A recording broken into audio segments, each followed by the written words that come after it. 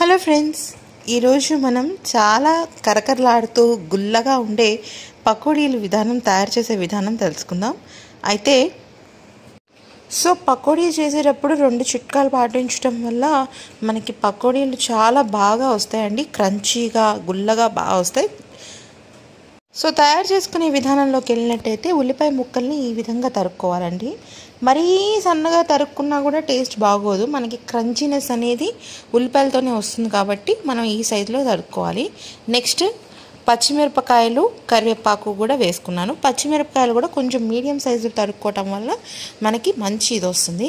అయితే ఇక్కడ మనకి గుల్లగా కానీ లేకపోతే కరకరలాడుతూ కానీ కావాలంటే ఒక చిన్న టిప్ ఉందండి. చాలామంది పకోడీని మెత్తగా ఇష్టపడతారు.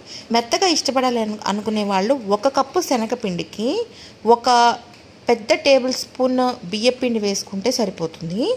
కొద్దిగా వంట సోడా వేసాను ఇప్పుడు నేను.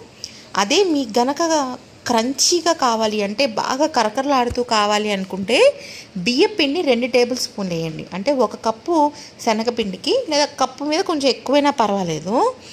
ఒక కప్పు శనగపిండికి మెత్తగా రావాలంటే వన్ పెద్ద టేబుల్ స్పూన్ బియ్యపిండి లేదు ఇంకా కొంచెం కరకరలాడుతూ కావాలి అనుకుంటే ఇంకొక టేబుల్ స్పూన్ అంటే రెండు టేబుల్ స్పూన్ల బియ్యపిండి వంట సోడా ఉప్పు వేసి నేను వాటర్ వేసి కలుపుకుంటున్నాను. వాటర్ కూడా ఎప్పుడు ఒకేసారి వేసేస్తే మాత్రం జారుడుగా అయిపోయి నూనె ఎక్కువ పీల్చేసుకుంటుందండి పకోడీ. అందుకని మనం ఏం చేసుకోవాలి అంటే కొద్ది కొద్దిగా నీళ్ళు కలుపుకుంటూ ఉండాలి. అయితే పకోడీని ఎప్పుడూ కూడా డ్రైగా అస్సలు చేసుకోకూడదు. కొద్దిగా తడి తడిగానే ఉండాలి. సో ఇప్పుడు నేను కొద్దిగా నూనె తీసుకున్నాను బాండీలో. ఎక్కువ నూనె వేయక్కర్లేదండి పకోడీను. అండ్ నూనె నాకు బాగా కాగిన తర్వాత పకోడీలాగా వేసుకుంటున్నాను.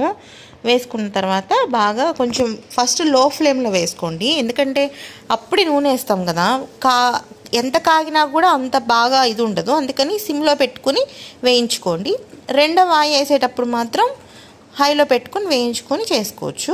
వేడి వేడి పకోడీలు రెడీ. సో పిండి కలుపుకునే దగ్గరే మనకు ఒక చిట్కా ఉంటుందండి. బియ్య పిండితోనే మొత్తం అంతా కూడా క్రంచీనెస్ కానీ గుల్లతనం కానీ వస్తుంది. ఒక్క రెండు చిటికెళ్ళు మనం వంట సోడ వేసుకోవటం వల్ల మంచి ఉబ్బొచ్చి చాలా బాగుంటాయి. నచ్చితే సబ్స్క్రైబ్ చేసుకోండి.